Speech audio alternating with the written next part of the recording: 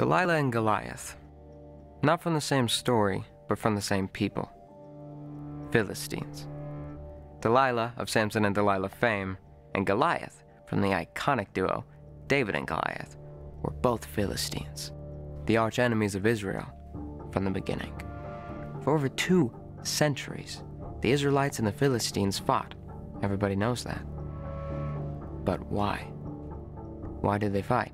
Almost nobody stops to think about that.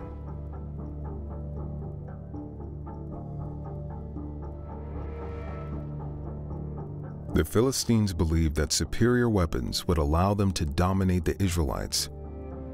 However, they hadn't reckoned with the God who created iron.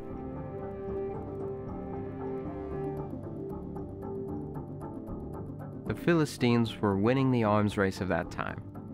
They left other local cultures in the dust of the Bronze Age, while they refined the use of a new technology, a super metal, iron. Not only were they masters of this new technology, they controlled its use. This ensured economic control over the region and reduced the chances of rebellion from their subjugated neighbors, like the Israelites. Farmers. Israelites farmed the region that had been promised to them by God. We used wooden farm implements. We weren't allowed to use iron in our weapons. We had wooden weapons and some bronze, but to, to even use iron tips on the plows of our farm tools, the Israelites had to pay a steep fee to the Philistines. We had no blacksmith in all of Israel, so we had no choice but to pay the fee. Now, I come from a long line of farmers. Somehow, someone from somewhere hears about me. Young, brave, smart, and I'm chosen to be an armor bearer for some higher up in the Israelite army. I didn't even know what an armor bearer was when I joined the army. No one did. It didn't exist. Not really.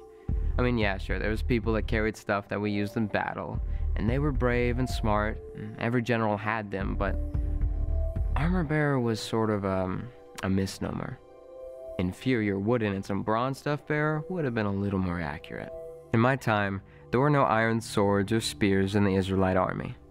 How do I know? I am the armor bearer for the king's son, Jonathan.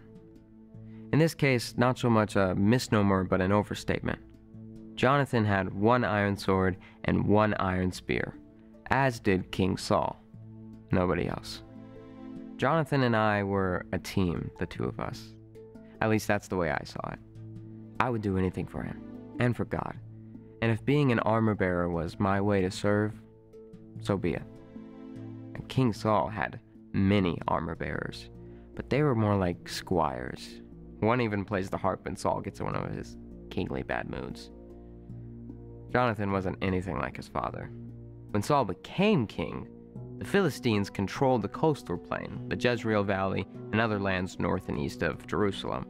With these lands and access to the Mediterranean Sea, they controlled the lucrative trade routes in the area.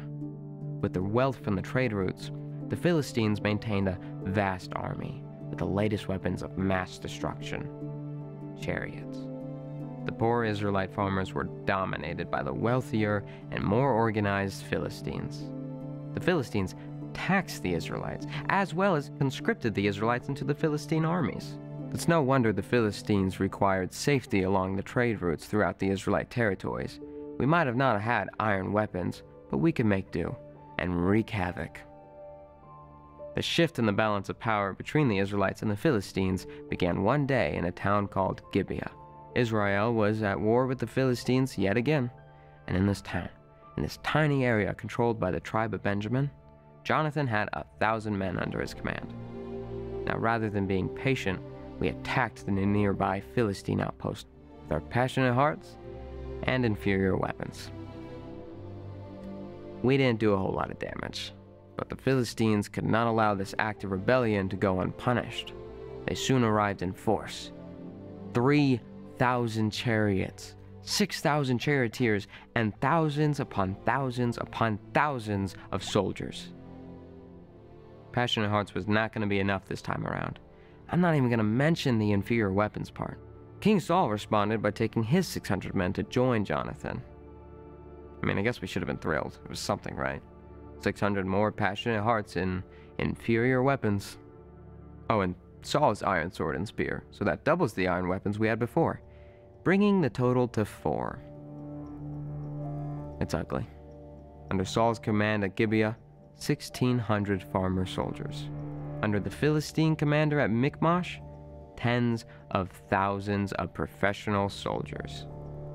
Ugly. This fight is pretty much over before it even begins. Can't sleep. Trying not to think of the odds. My tent flaps open. Let's go over to the outpost of the Philistines. It's my master. I can't leap to my feet fast enough.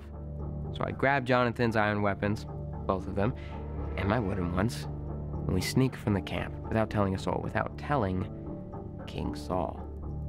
Let's go to the outpost of the Philistines. Nothing can keep the Lord from saving us. Perhaps the Lord will act on our behalf. Are you crazy? Perhaps the Lord will act on our behalf?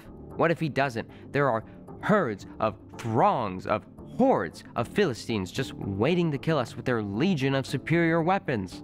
I'm holding all of our superior weapons. Both of them. But I hear myself say, let's do it.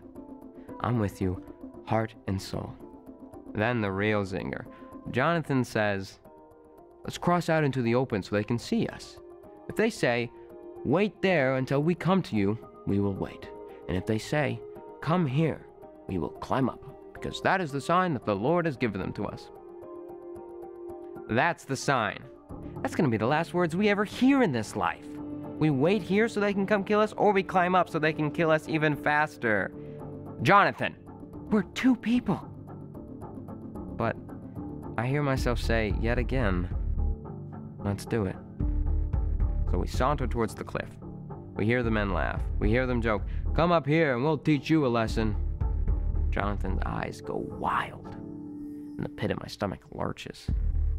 He runs through the cliff and just starts climbing it, and I'm right there, right behind them.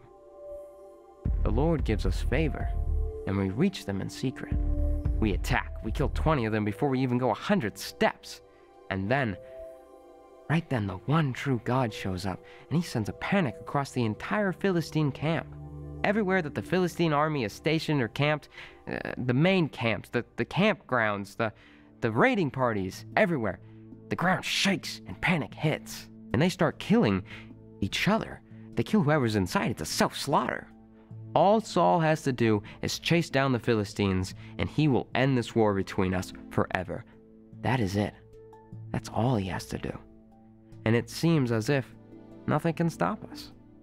Jonathan and I, we join in. And every time that a Philistine dies or gets tired and they drop that iron sword or spear, and what do we, the inferior wooden stuff bearers, do? Soon, all of the Israelites have iron swords and spears. We're armor bearers. We enter the forest. Everyone is exhausted. It shows in their eyes and legs. Lo and behold, right there on the ground, we see honey. So Jonathan, he eats some. Sugar rush hits, just total jolt of energy. Nobody else eats the honey. Jonathan commands them, Eat the honey. They refuse. He sees the Philistines escaping from what was supposed to be sure death. He is beside himself and he shouts, Eat the honey, get energy. They refuse. He demands an explanation. While you were away, your father bound the army under a strict oath not to eat anything before evening. Jonathan explodes. My father has made trouble for our country. How much better it would have been if we had been able to slaughter all of the Philistines and end their dominion over us. That same night, Saul finds out that Jonathan violated the king's oath. He orders the death of his son. Jonathan must die. But the men, they refuse, and they rescue Jonathan by their refusal. Saul relents, but the opportunity to slaughter the Philistines has passed, and he knows it. Jonathan and I, we meet with the leaders of the army and learn some very discouraging news. King Saul made burnt offerings instead of waiting for the prophet Samuel to do it. Samuel chastised him for doing so, and prophesied that God had determined the end of Saul's dynasty. The prophet Samuel already found a successor, one with a heart like God's. Jonathan immediately knows who this is, and it's not him. The successor to King Saul? A former armor bearer, but one who plays the harp.